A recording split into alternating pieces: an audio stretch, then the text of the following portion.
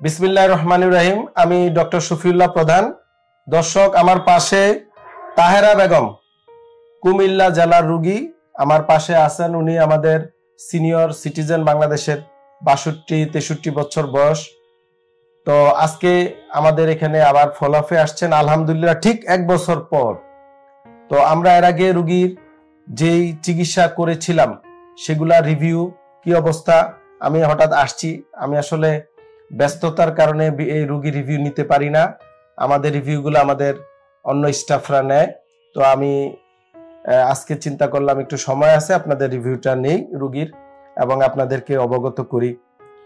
তো রুগীর মুখে আমি শুনি এবং আমি কিছু ডাটা আপনাদেরকে এখানে দিব আমাদের ডায়াগনোসিস করা আছে। রুগী ভুগতেছিলেন দীর্ঘমেয়াদী আগের থেকে উচ্চ রক্তচাপ নাকি? ডায়াবেটিসের রুগী উনি আগে এগুলো আগের রুগী। মানে আগের সমস্যা ওনার কোমরবিডিটস আগেতে কোমরবিডিটিস এই জাতীয় সমস্যা ওনার ছিল। এবং উনি রিউমাটয়েড আর্থ্রাইটিসে ভুগছিলেন দীর্ঘমেয়াদী। উনি এক পর্যায়ে যখন আমাদের কাছে দুই হাজার তেইশ সালের বিশ বিশ সাত দুই হাজার তেইশে আসছে। তখন আমরা দেখার পর ওনাকে আমরা এখানে ভর্তি করে অ্যাডভান্স রিহ্যাব ফিজিও চিকিৎসা দিয়েছি।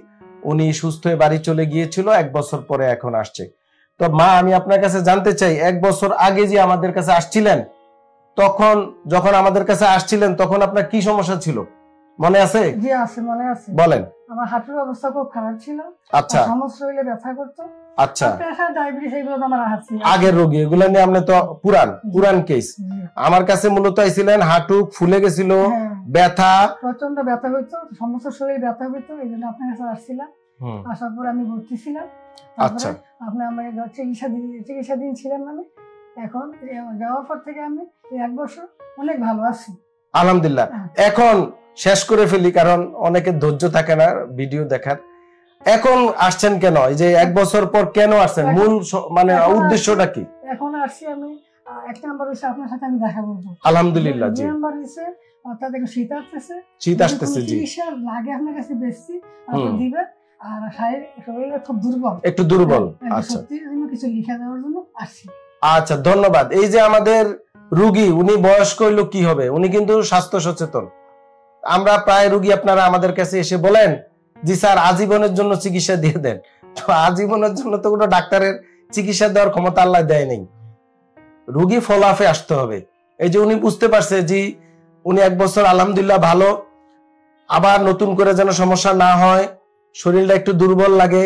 পাশাপাশি শীত, আপনারা জানেন যে শীতে আর্থ্রাইটিস রোগী, যে রিউমাটয়েড আর্থ্রাইটিস আমাদের যারা বয়স্ক মানুষ, তাদের ব্যথা, বেদনা এগুলো বেড়ে যায়। তো উনি prevention is better than cure উনি আমার চেয়েও সচেতন বেশি, আলহামদুলিল্লাহ। তো উনি আসছে যে আবার যেন প্রবলেমগুলা দেখা না দেয় এই এই জন্য।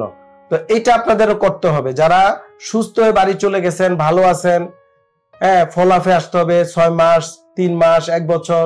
আপনার অনেকে চলে যান, আর খোঁজ নেন না, আর খবর থাকে না, আর ফলাফ করেন না, আর ব্লাড টেস্ট করে দেখেন না, তখন দেখা যাবে রোগটা আবার ভিতরে ভিতরে বাসা জমতেই থাকে মানে বাসা বাঁধে। বাড়তে বাড়তে এক পর্যায়ে আবার সিভিয়ার খারাপ অবস্থায় তখন আমাদের কাছে আসেন।